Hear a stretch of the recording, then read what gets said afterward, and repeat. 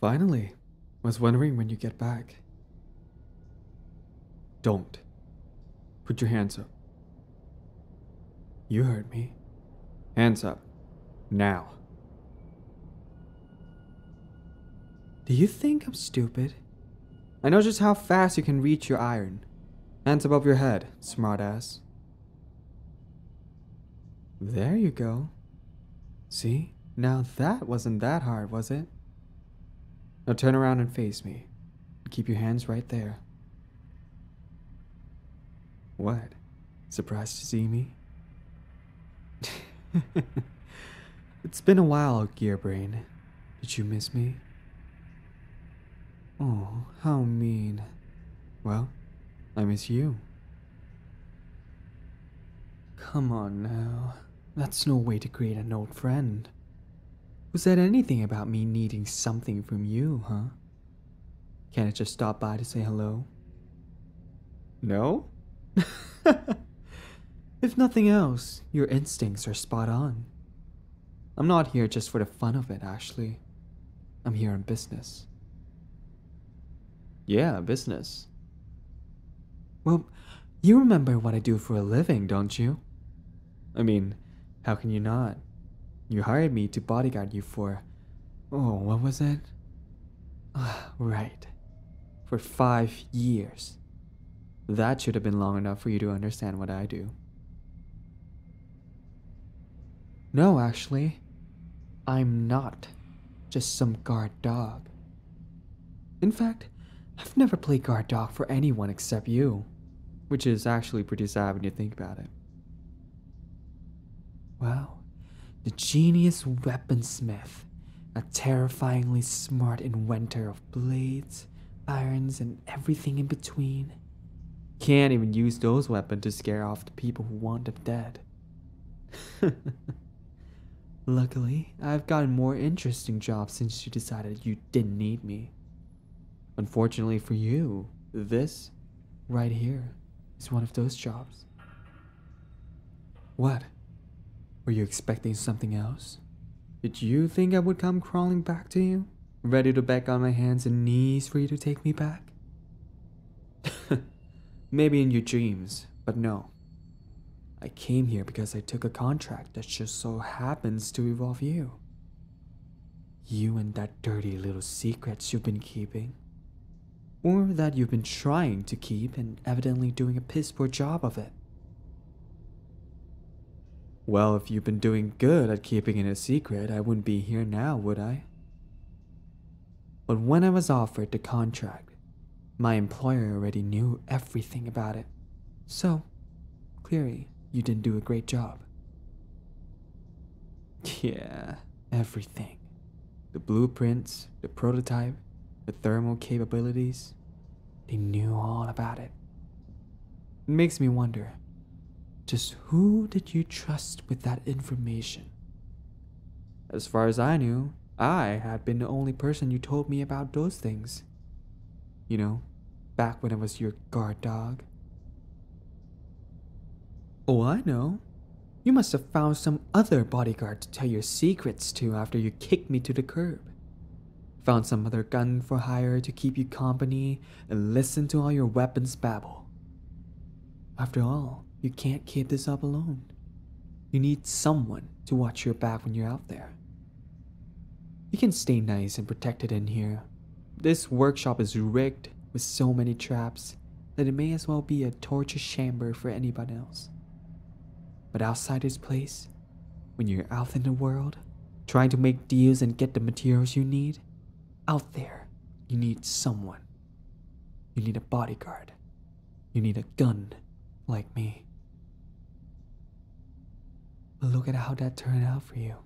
You trusted the first no name you found, and they went and sold you out. Now your project has been leaked to every big names on the black market. You've got a target on your back, and people gunning for your head. Even worse is that now you don't even have a guard dog. No one to protect you. Not even me. And that's a big problem for you. You wanna know why? Because I'm. I'm the one who they sent after you. and I know you better than anyone. oh, but I do. How else would I have gotten in here without one of your traps killing me, huh? Because you, you told me. You told me about all about this workshop, about what you do here, about your projects. I know all about your work, Gearbrain. And I know all about you. Mm hmm. I do. You can try to deny it all you want, but I know you like the back of my hand. And because I know you, I know that you're way too smart to leave that prototype just lying around. Even as locked up as you've got the place, you know it's not safe to leave a weapon like that alone. Anyone with the right skills could break in and steal it. Awful paranoid, aren't you? Not many people have those skills, you know. You've always been the type to think that something is only safe when you can see it. Which means. you have it on you, don't you?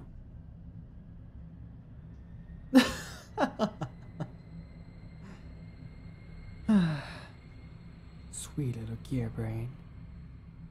You don't even need to say anything. I can see it on your face. So where is it, hmm? In your bag? Got it in a holster somewhere on you? Not gonna talk? Can't say I expected you to, but you're not making this any easier. Shut up and toss me the bag. Hey, be careful with how you're talking. I'm the one with the iron here, and you, of all people, should know damn well that I don't miss. Now, give me the bag. Don't. Use one hand. Keep the other in the air. I don't care if that makes it harder. I'm not stupid enough to let you move both hands out of sight. Now set it on the ground. Slowly. Kick it over to me. Mm-hmm. Hmm. Not in here, huh? Figures. You're too smart to do that. So, where is it? Don't just shrug. Tell me where it is.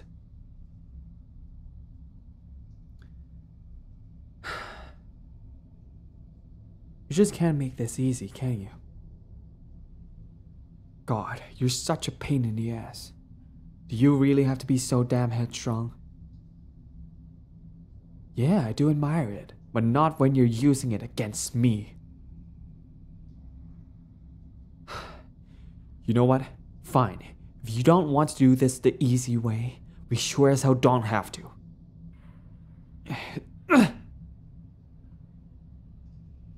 Alright, there we go. Much easier to make sure you're being the problem when I've got you pinned. Now, let's see here. Hmm. If I were a prototype of a gun with hellishly destructive abilities, where would I be? well, obviously, nowhere in plain sight since I'm an electricity based gun that can discharge enough voltage to kill anything in spitting distance. Somewhere secure too. Wouldn't exactly go over well for something like that to fall out of your pocket, would it? Fortunately for both of us, I know exactly where you keep your iron. Pull your jackets up.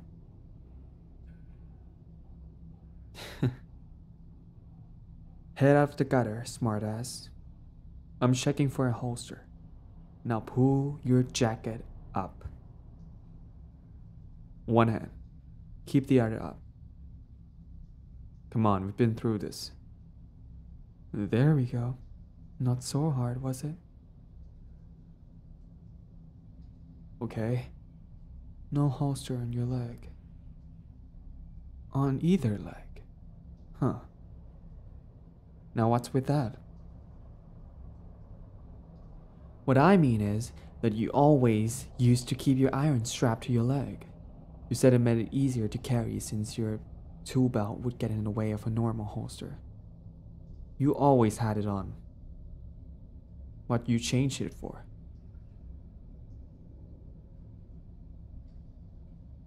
Still hurts? What do you mean? Hold on. That sounds like. Wait. Shit. The new nurse you hired. Did they. They tortured you. That's why they know everything. You didn't tell them because you trusted them. They forced you into telling them about the prototype. Then they sold everything off the highest bidder. That's why they hired me, I bet. Probably figure out that after you toss me out that I want you dead and that I'd kill. Fuck, you little. Smart move disarming me like that, Gearbrain. But don't think that I only brought one weapon. Remember this fun little toy you gave me? Beautiful little piece of work, even by your standards. Durable metal, a nice serrated edge, and best of all, a thermal component that burns hot enough to cauterize everything I cut. Works real nice for a merc like me.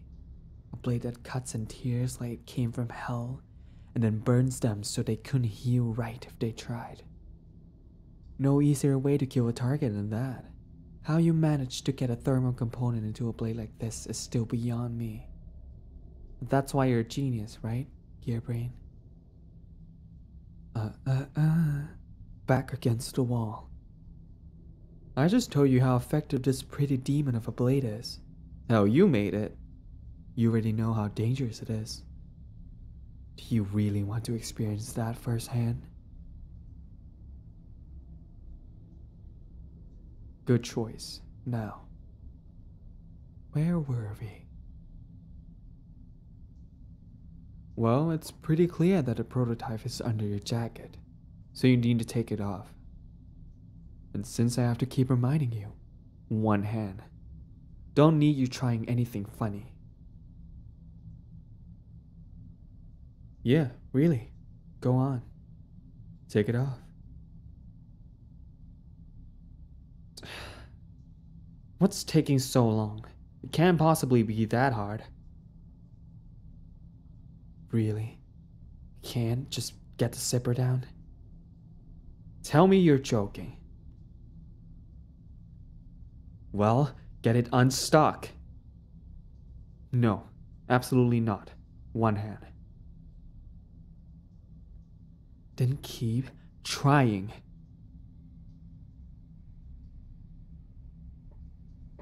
God, you're taking too long.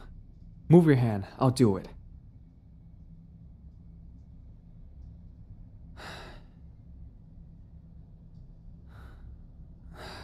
Fuck.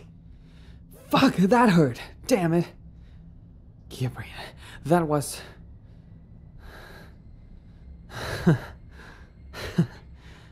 that was just like I taught you. God, I can't believe I fell for that. Didn't think you remember anything I showed you. Well, yeah, I can see that now. Obviously, I was mistaken.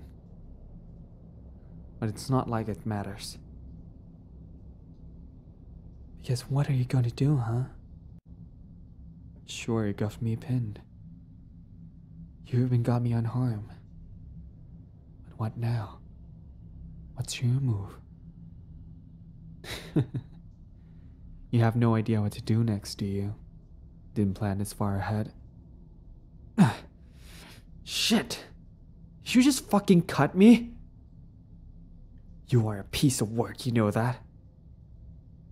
No, the knife is a beautiful piece of work. You're just a piece of work. No sweet words around it. sure, you're smart, but that's not a compliment, is it? It's just fact. Not exactly a good one either, is it? Look at where it's gotten you. You're the one holding the knife right now, but you possibly can't think that this is going to end with you winning. You might have strength and stamina from making all your fun little weapons, But in terms of training, you only have what I taught you. Yeah, sure. You could hold your own in a scrap with some punk at a bar, but I'm a professional. At the end of the day, even if you can get a few good hits in, you aren't winning this. oh, you think so? Then give it your best shot. Doesn't matter what you do because you're going to have to drop your guard eventually. When you do, I'm going to take that prototype and I'm going to go back to the buyer, get the money from that contract, and be done with all of this. Questions? What's asking me questions gonna do? It's not going to change anything. Actually, why not? Sure, fine. Whatever. It's not like I've got anywhere else to be. Ask away. Some airhead weapons dealer with a huge network and a deep wallet. Does it really matter what their name is? There's so many people after you and your work that it could be anyone involved in the black market dealings. Well, if you really want to know, it was someone who called himself Red Light. I don't know their real names or what they look like. They didn't care to meet face to face when they hired me. Just sent some terrified lackey to make the initial contact. And every time after that, they've just called me. And? What about it? I'm a mercenary. I take weird contracts from annoying people all the time. It's not like this is anything new. What's it matter to you, huh? Why does it matter that I took some asshole's contract? All you should care about right now is that I am here for your gun and your head. You should be trying to figure out how to get out of that situation instead of asking these stupid questions. It's just going to make it more fun to kill you when I get my chance. Why am I so mad at you? You're really asking me that? I'm mad because I was your bodyguard for years and you kicked me out without any warning. You just pushed me out of your life like I was fucking nothing. Of course I'm pissed at you. Thankful? Fucking thankful? What I would be thankful that you pushed me away. You left me. Worse than that, you made me leave you. What about that would make me happy, huh? Do you know how much it hurt? Do you know what that felt like? To be pushed aside like I never even mattered to you?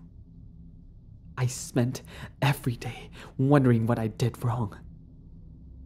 Wondering if I did something that hurt you. I don't even know what I did, but every single day I wonder if I ask you to forgive me, if you would take me back. There have been nights where I couldn't sleep because I couldn't stop thinking about what went wrong and how I could fix it. Fuck, that's why I'm here right now. You asked me why I took some random jackass contract? You really want to know why I took this contract, huh? You want to know why I decided to hunt you down? Why I wanted to find you again even after you pushed me out of your life? Why I'm doing all of this? Because I have to know why. Why did you make me leave you? After all that time, after everything we'd been through, you just told me to get out. Why? Did you do something? Was it not good enough?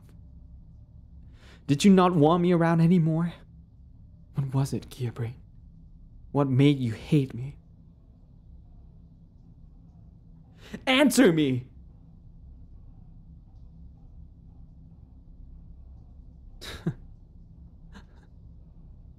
what? You don't have an answer. You can't tell me why you hate me? You can't even give me that?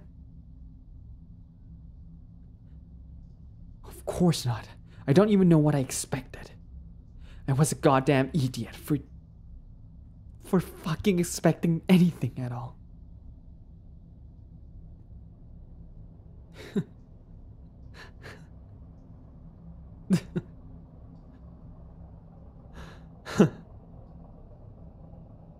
when did I say that? When did I say that I hate you? Gearbrain? When do you remember me telling you that? That's because I never did. I would never say that. I didn't. I didn't back when I was your bodyguard. I didn't on the night you turned me away like a stray dog. And I didn't any of the days after that. There wasn't a single day, even in the days where I was alone and cold and so fucking lost without you, that I ever said I hated you. Because I never meant it. Even on my worst nights, I couldn't bring myself to even think about hating you. I would think about how much it hurt that you would cut me out of your life. And about how mad I was that you would push me away like you weren't the one who rescued me first. After all, you were the one who helped me up from the curb and patched me up when my old team tried to kill me. You, you were the one who sewed me up and tried to heal the scars that your stitches left. You were the one who suggested that I take a job as your bodyguard so I would have somewhere to stay. But I never hated you. How could I even begin to hate you? You can't use hate to replace feelings that are already there. Not even when you're hurt and angry and aching to go back to how it was. What do I mean? What do you think I mean? Come on, you're the genius here. Haven't you figured it out yet? and to think that I spent so many nights wide awake, terrified that the reason you kicked me out was that you knew the truth. But you have never been good with people, have you? You never realized why I stayed beside you for so long even when I could have been doing anything else.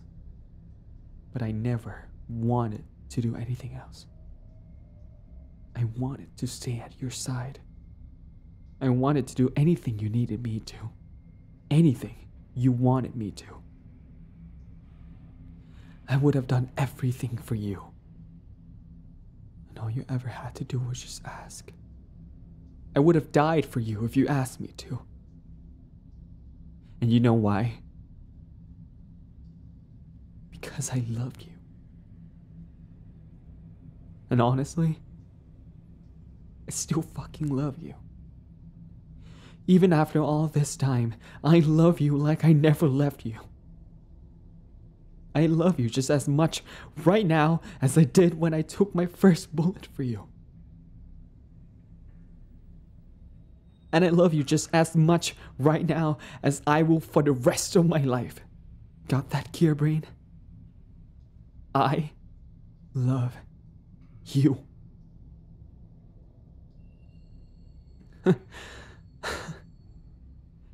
what? Did you not hear me? Or do you just not understand what I mean? Because that's as easy as I can make this for you. I love you. Plain and simple. Nothing more, nothing less, and nothing else. I don't hate you because I could never hate you. I have only ever, and will only ever, love you. So, what are you gonna do about. Wait. What are you.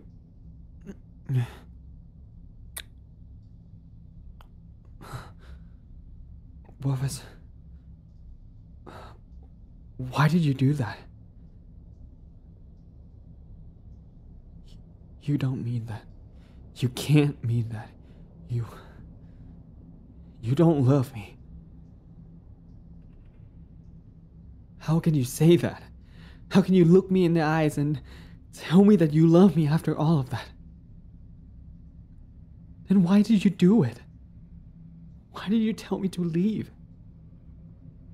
If you loved me, then why would you hurt me like that? Of course, there were times I got hurt.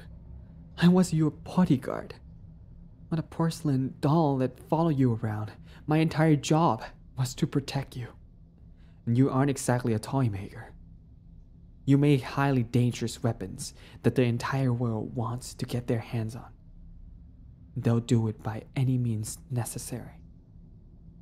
A few scratches here and they're going to happen.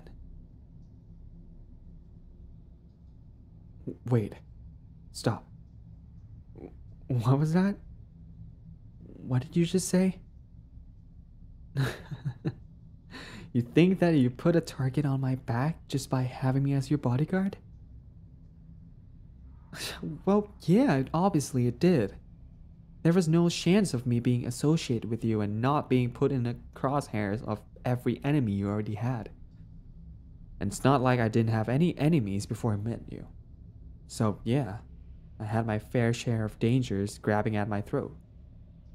I just didn't care. It never mattered. Because I love you. And all of the danger that comes with you doesn't mean I love you less. I couldn't give less of a shit about the enemies, or the shootouts, or the misfires and lab accidents. I love you. And I don't care if I have to take a few more bullets and knives because of it.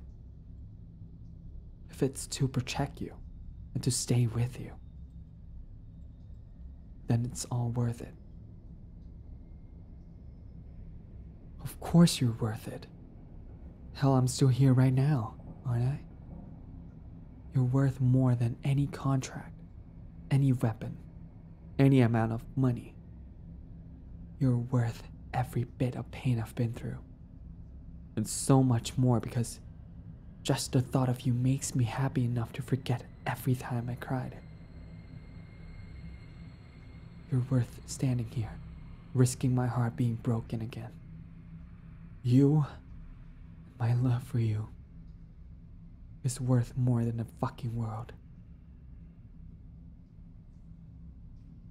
How many times do I have to tell you the same damn thing? I don't care what happens. I'm here to stay. I don't care if I get hurt or if I bleed or if I cry or anything else. So long as I'm with you. It's all worth it. As long as I get to stand by your side and know that my heart beats in time with yours. Now, can you please get that through that thick skull of yours? Good. Now that you're done being dense and I'm done trying to fill this stupid contract, let's put all of this painful stuff down for a bit and focus on something a bit nicer. Can we please kiss again? Because that first one was a few years late, and we've got some time to make up for. Come here.